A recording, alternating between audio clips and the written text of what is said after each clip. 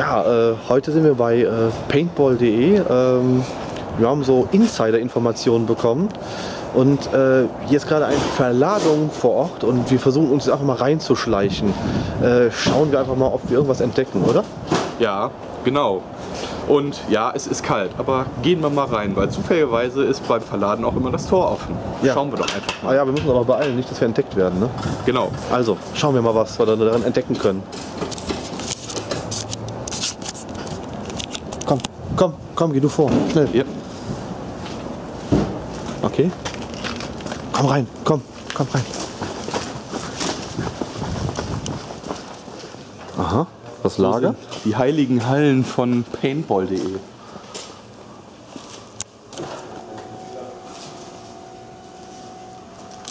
Cool. Stapler. Ja, riecht nach Arbeit. Ja. Da ist einer. Komm, komm, komm, komm. Komm, hier rüber, hier rüber. Ja? Was ist das? Ich glaube, das sind Knappen drin. Was ist das? Vielleicht können wir da was entdecken. Warte mal. Ja. Tatsache. Krass. Warte mal. Was? Die ist, was? Die ist offen? Die Tür ist offen. Psst. Ah, leise. Rein. Leise zu. Ganz unauffällig. Krass. Wenn das nicht der Himmel für jeden Paintballer ist. Alter, guck dir das mal an. E-Tex, ETAS, ohne Ende. Was ist das denn? Wie geil! Was haben wir hier? Die sind Egos. Egos. Hier ist eine ETA. Egos. Paar Omegas von Empire. Warte mal, ETAs. Hm. Hm. Oh, die ist aber cool, oder? Ja. Es sind noch ein paar andere Designs dabei, oder? Ja. Was ist das denn? Cool. Jackpot. Oh yeah. Ich glaube, da haben wir was sehr Spannendes gefunden. Warte mal, ich zoome mal ran, ich zoome mal ran. Ja. ja. Das ist, die, das ist die neue, oder? Scheint eine neue Ego zu sein. Uh, fucking awesome. Scheiße, ich glaube, da kommt jemand. Weißt du? Schnell weg.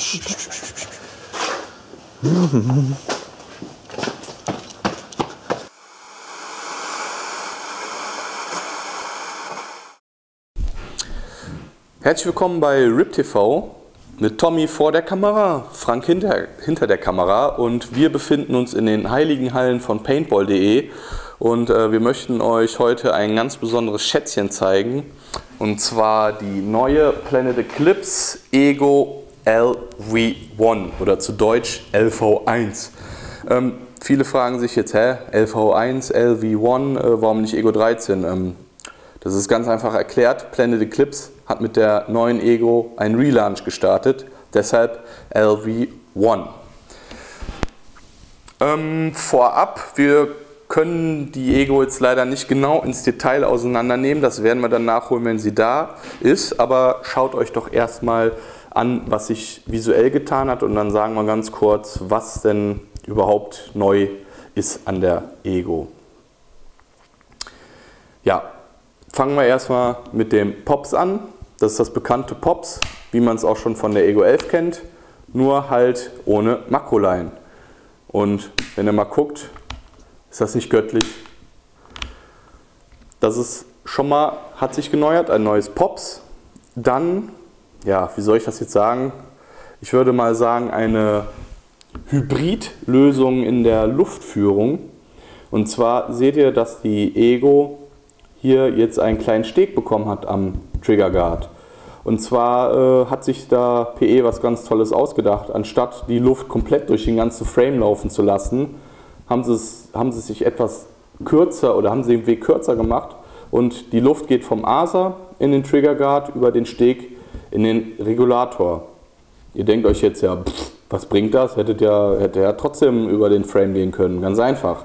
Ihr habt das Handling einer, äh, eines Markierers ohne Makroline, behaltet aber trotzdem die Vorteile eines Markierers mit Makroline, weil äh, es macht das Ganze einfach wartungsfreundlicher, weil ihr, habt, ihr könnt einfach mit Luft sogar, könnt ihr das ans Solenoid gehen etc. etc.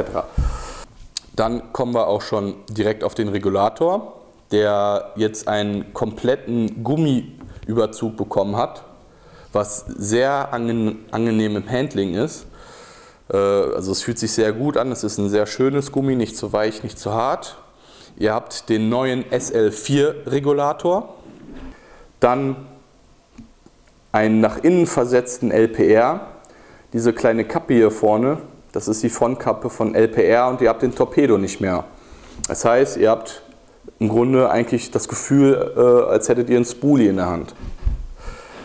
Dann kommt die Ego LV1 mit dem SICKIT 3 welches angeblich in zwei Ausführungen mit dabei sein wird. Ihr werdet eine leichte und eine schwere Version bekommen. Und ihr bekommt den neuen Cure 5 Bolt. Wie man sieht, äh, er hat ein paar, äh, ja sag ich mal, erinnert ein bisschen an den Dart Bolt, aber es ist der neue Cure 5. Was kann man noch zur neuen Ego sagen? Ähm, damit ihr auch mal den Unterschied seht, haben wir hier noch eine Ego 11. Und äh, ja, mal so zum Gucken. Wie ihr seht, die Ego LV1 ist ein bisschen länger geworden, wie halt schon angesprochen, dadurch, dass der LPR nach innen gerutscht ist. Die äh, Ego LV1 wiegt übrigens 936 Gramm mit Batterie und Lauf. Dann, wenn ihr jetzt auch mal guckt, das habe ich übrigens vergessen, die Grips wurden auch neu gemacht. Äh, und wenn man etwas genauer hinguckt, seht ihr, dass sie nach oben hin schlanker werden. Also sie fangen, sie werden, fangen breit an und werden eine Ecke schlanker, als es schon bekannt ist, was sehr angenehm in der Hand ist. Und ja, von vorne, wenn ich es dann arrangiert bekomme.